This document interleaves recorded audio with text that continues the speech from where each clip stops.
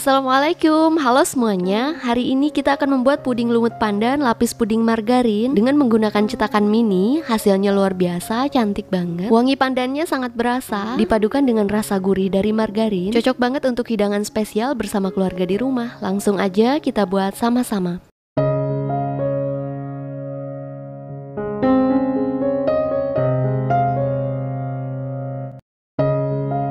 Pertama kita buat puding pandan lumut. Masukkan 120 gram gula pasir 7 gram bubuk agar plain. Aduk rata sebentar supaya bubuk agar-agarnya tidak menggumpal.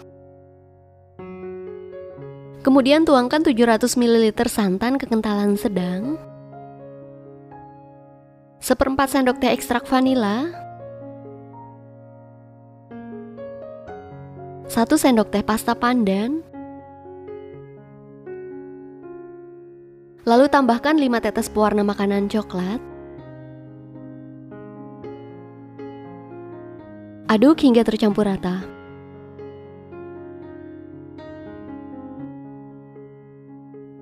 Kalau udah rata, masukkan 2 butir telur, kocok lepas dulu lalu campurkan ke dalam adonan puding pandan.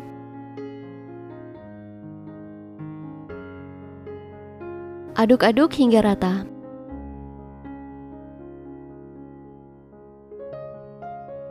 Setelah rata, masak di api sedang cenderung kecil sambil terus diaduk.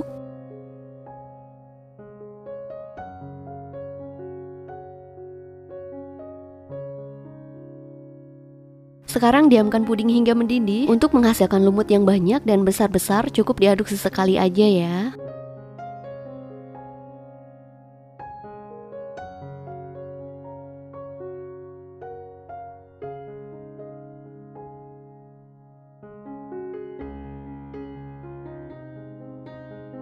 Nah, ini kita aduk lagi sebentar.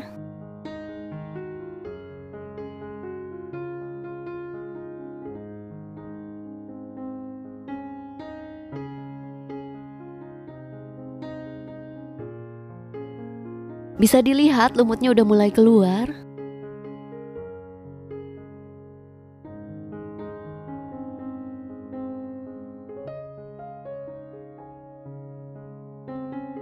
Ini puding lumutnya udah mateng, matikan api kompor, angkat.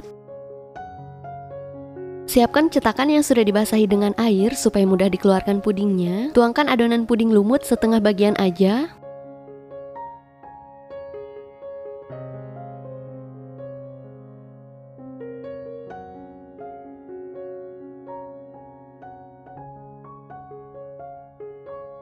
Udah selesai dituang semua, biarkan hingga set.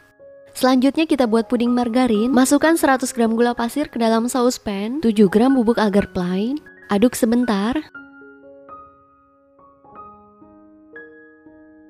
Tuangkan 700 ml susu cair full cream.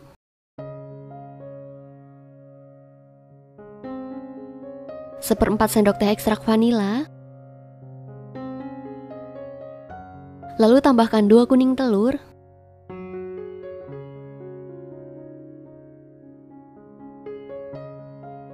Aduk-aduk hingga tercampur rata. Setelah rata, masak di api sedang cenderung kecil hingga mendidih sambil terus diaduk.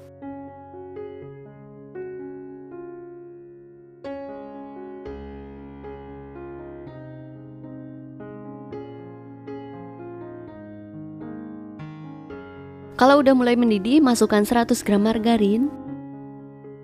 Aduk hingga margarin mencair.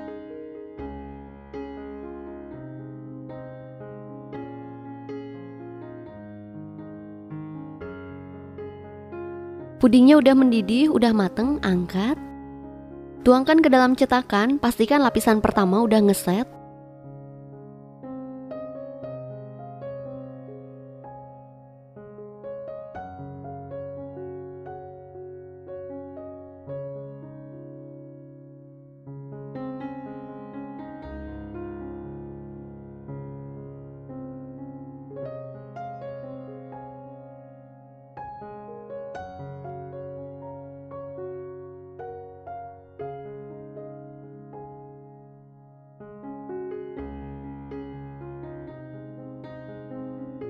Setelah selesai dituang, biarkan hingga set. pudingnya udah ngeset, lepaskan puding dari cetakan dengan cara dikerat bagian pinggirannya.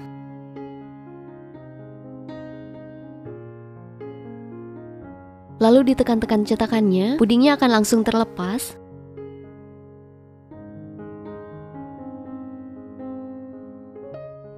Ini dia hasilnya cantik banget.